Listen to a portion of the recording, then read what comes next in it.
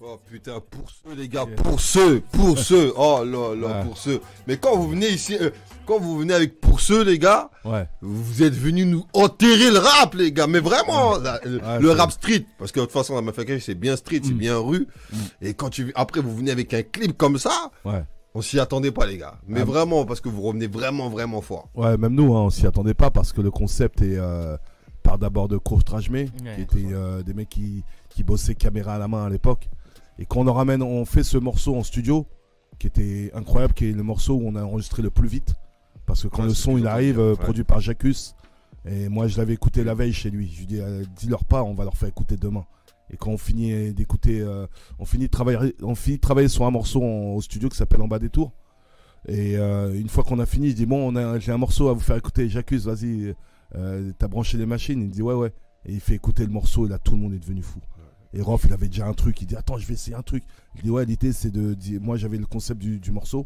L'idée c'est de dire euh, pour ceux, pour ceux qui font ci, pour. Et lui, il écrit un truc rapide et il pose le morceau. Et je lui dis non, ça c'est. Je lui dis non non non, ça c'est le refrain. Ça fait bien dans le refrain. Écris un autre truc. Ouais.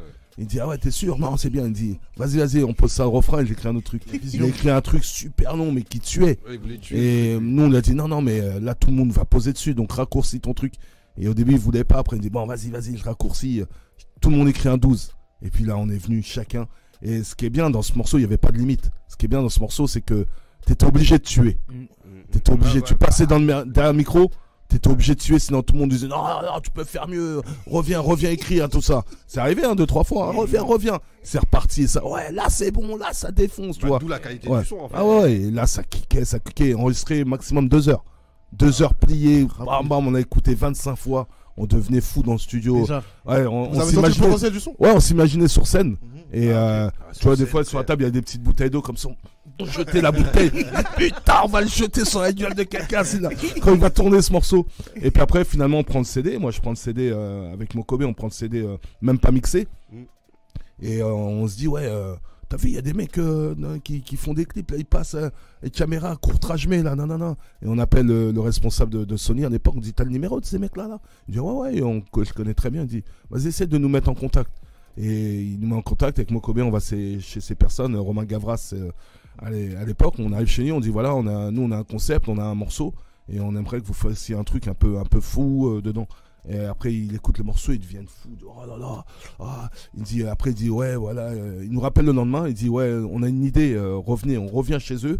Il dit, ouais, nous, on a une idée, c'est d'arriver dans représenter chaque quartier de France, comme si on représentait ch- chaque quartier et tout ce qui se passe dans une journée, ah ben, il se passe dans ce clip. Ah Et ouais. il dit, ah ouais, mais, mais vous allez faire ça. Pour nous, c'est, il fallait une grue, une caméra. Il dit, non, non, non, on vient avec nos deux petites caméras. Laissez-nous faire, laissez-nous faire. dit. Et euh, là, on était jeudi, et je dis, euh, vous voulez faire ça quand? Bah, samedi, tu vois. Même pas organisé, il dit samedi. Il dit, bah, vas-y, euh, vas-y, je vais prévenir les autres, et on fait ça. Et je préviens, bouche à oreille, bim, bim, bim, le clip de Pour ceux. C'est, et les quartiers, dès que tu dis ça, un ça, clip il à l'époque. Ouais, Tout le monde sortait, ouais. C'est Ouais. ça. Ouais, bah, en fait, le clip il se fait comme le son. en Ouais, fait. voilà, C'est voilà, c'est la vie, la vie de quartier d'une journée. Voilà, il y a des chiens, il y a des motos. euh, euh, Il y a la c'est- moto, les voilà, voilà, ça passe, ça tombe, ça tombe, ça court. Et voilà, c'est là. Et quand on a fini le clip, et il l'a monté, nous on était en studio à cette époque-là, on était en train de mixer l'album, et il nous fait, il nous fait voir le clip. On devient tous ouf et on convoque le, le directeur de, du mec qui nous a signé pour lui faire voir le clip. Il vient comme ça, un gros bonhomme, euh, 45 ans à l'époque. On se dit putain, il va flipper quand il va voir le clip. Il, il regarde le clip, il- on était tous dans la salle comme ça, une vingtaine, on, on le regardait tous comme ça. Il regarde les clips, et après il fait Je peux le revoir une deuxième fois? On éclate tous de rire. Après, après, il regarde une deuxième fois.